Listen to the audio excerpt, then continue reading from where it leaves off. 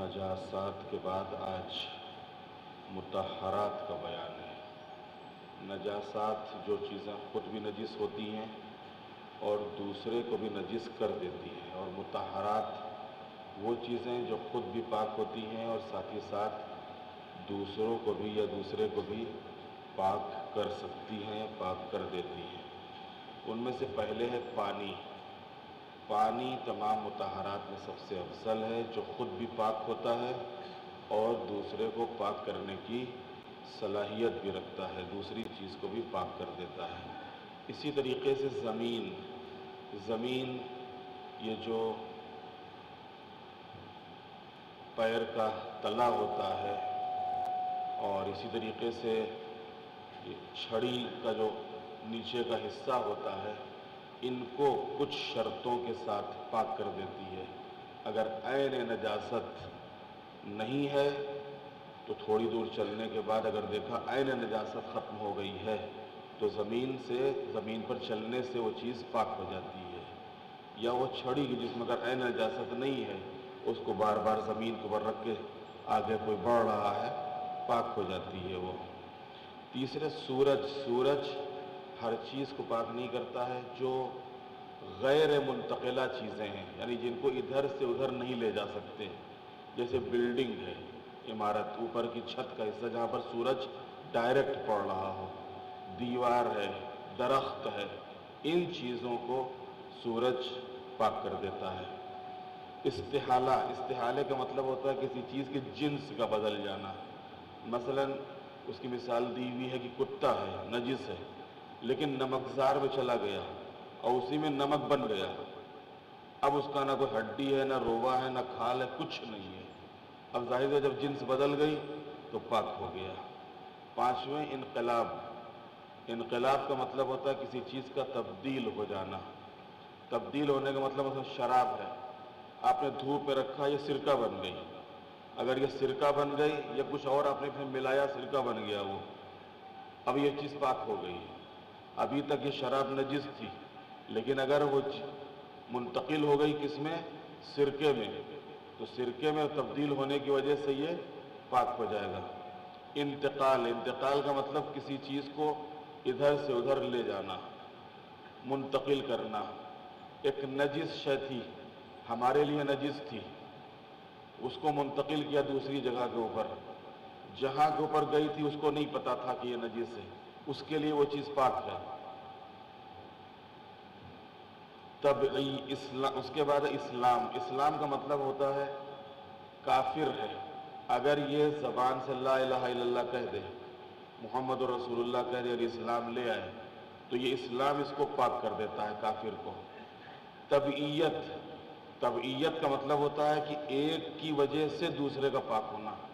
मसलन तख्त गसल के ऊपर मैयत को लिटाया। अब जब मैयत को गसल दे रहे हैं तो जब मैयत का गस्ल मुकम्मल होगा तो मैयत के पाक होने के साथ साथ वो तख्ता भी खुद ब खुद पाक हो जाएगा। अब उसको आपको मैयत उठाने के बाद अलग से पाक करने की ज़रूरत नहीं इसको कहते तबीयत। कपड़ा धुल रहे हैं। बहुत से लोगों को शक होता है। वो कपड़ा अलग पाक करते हैं, हाथ अलग पाक करते हैं। बार बार कपड़ा पाक करते हैं बार बार हाथ पाक करते हैं। लेकिन जब ज़ाहिर सी बात है कि जब कपड़ा पाक हुआ तो कपड़े पाक साथ आपका हाथ भी पाक हो गया। तो उसको आपको कपड़ा फैला के अलग से हाथ पाक नहीं करना है, वरना फिर कपड़ा कहाँ पाक हुआ?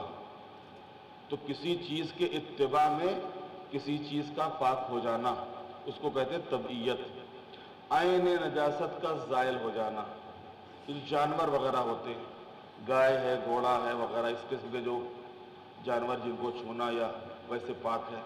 अब उनके जिस्म के ऊपर कोई आयन नजासत लग गई। या मैंने अर्ज़ किया था कि जो गैर मुंतकिला चीज़ें हैं, वहाँ के ऊपर आयन नजासत लग गई।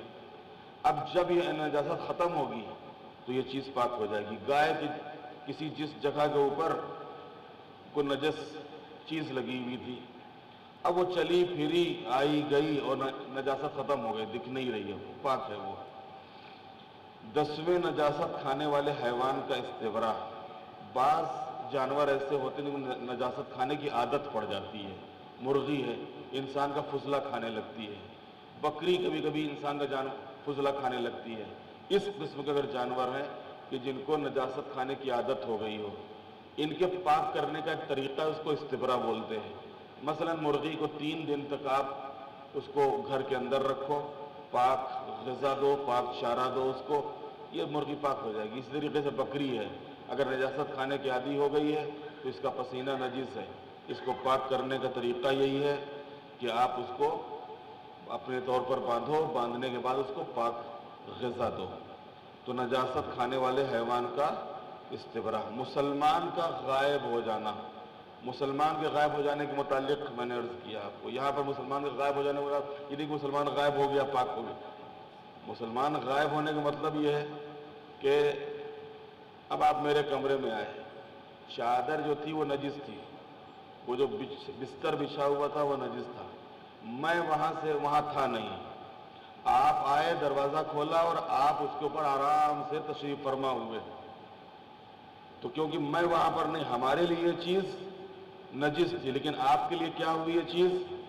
पाक हुई। आप पाक समझ के वहाँ के ऊपर बैठे हो और पाक समझ के लेटे हो। तो मुसलमान का गायब हो जाना से मुराद ये है। ग्यारह, बारहवें जिबा किए गए जानवर के बदन से खून का निकल जाना। इससे पहले मैं आपकी खिदमत गर्ज किया था खून के जेल में। कि जब जबा करते हैं तो जबा करने के बाद खून उछल के निकलता है। ये जो उछल के खून निकलता है, ये नजीस होता है। अब इसका सारा खून थोड़ी देर इसको छोड़े रखते हैं या उल्टा लटका देते हैं और सारा खून उसका निकल जाता है। अब ये जो बाकी थोड़ा बहुत खून जिस्म के अंदर रह गया है, ये खून पाक होता है। ये बारह मुतहरात चीज़ें हैं और आने वाले जो दिन है तो इन इसमें दो तीन दिन आपकी खिदमत में प्रैक्टिकली मसाइल वज़ू और गसल से मुतल बयान होंगे बर मोहम्मद वाल मोहम्मद सलावत।